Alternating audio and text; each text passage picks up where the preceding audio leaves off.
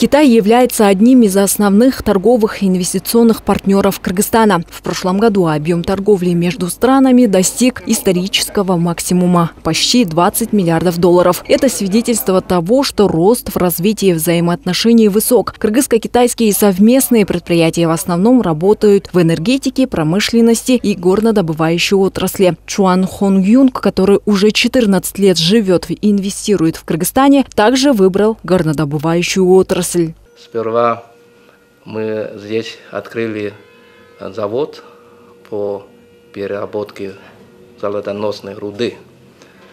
Сперва к работе, потом в Орловке. Это наш первый объект. Сейчас там э, лаборатория тоже работает. То, что на нашем заводе. У нас э, мы получили э, международную аккредитацию – в 2015 году я стал э, директором компании Global Commerce, которая является учредителем компании Сарджаз Mineral Mining. Э, у нас сейчас на Сарджазе, но там месторождение э, олова, волифрамовое месторождение. У нас сейчас там работает уже человек 200. Дай бог в будущем тысячи человек у нас будут работать. Инвестора заинтересовало обилие и разнообразие месторождений в Кыргызстане. Более того, поскольку китайская страна работает в обрабатывающей промышленности с передовыми мировыми технологиями, Чуан Хун Юнг также решил создать условия для работы с высокими технологиями в горнодобывающей отрасли Кыргызстана, потому что возможности страны в этом направлении очень широки. Теперь у нас э, в Орловке есть другие планы тоже. Есть э, месторождение Мироновское. Это сейчас э, принадлежит Кыргызстану. Мы готовы с ними сотрудничать, чтобы переработать их руду на наши фабрики обогащения. Да. Потом там еще другой план. Мы хотим там открыть завод по производству и сборке прицепов и спецтехник, которые очень нужны а, в Кыргызстане. Помимо горнодобывающей деятельности, господин Чуан Хон Юнг также внес вклад в здравоохранение и образование. Кроме того, предполагается предложить новые проекты в сфере туризма. Да, именно где я сижу, это Бишкекский горный технический колледж. Это тоже мы вместе с местными партнерами открыли. У нас даже школа есть. И я официальный представитель компании фарма, вот, э, вот фармакорпорация CSPC. Это одна из ведущих корпораций Китая, которая производит э, лекарства.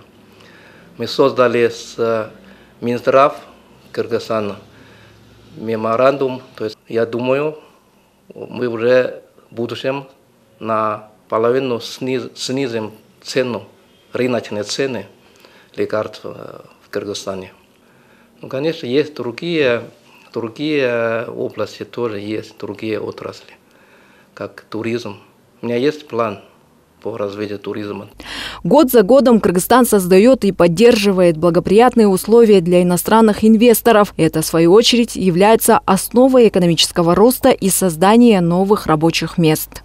Э, Китайская горнодобывающая отрасль, обладая значительными ресурсами и мощной инфраструктурой, уверенно идет вперед благодаря внедрению передовых технологий. Страна активно инвестирует в автоматизацию процессов, использование искусственного интеллекта и развитие экологически чистых методов добычи. Благодаря этим усилиям Китай не только увеличивает эффективность и безопасность производства, но и снижает экологическую нагрузку, устанавливая новые стандарты стандарты мировой горнодобывающей промышленности. Мы знаем, какой потенциал у нашей страны, поэтому мы заинтересованы в инвестиции именно в этой отрасли.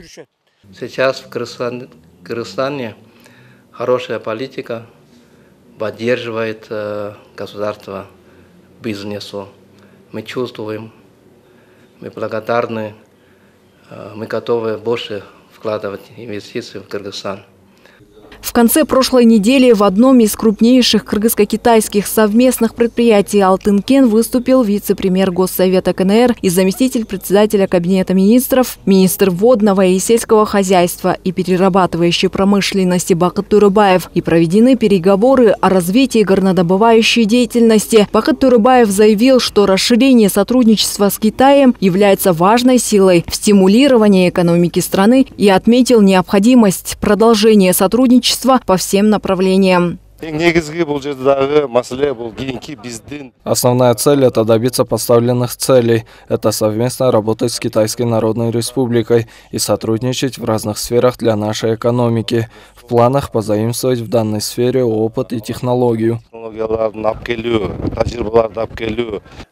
Также в ходе встречи с президентом Садыром Джапаровым вице-премьер Госсовета Китая еще раз отметил, что будет стимулировать крупные китайские предприятия инвестировать в экономику Кыргызстана. Айсло Мурзакова, Джумабай Исманалиев, УТРК Чуй, город Бишкек.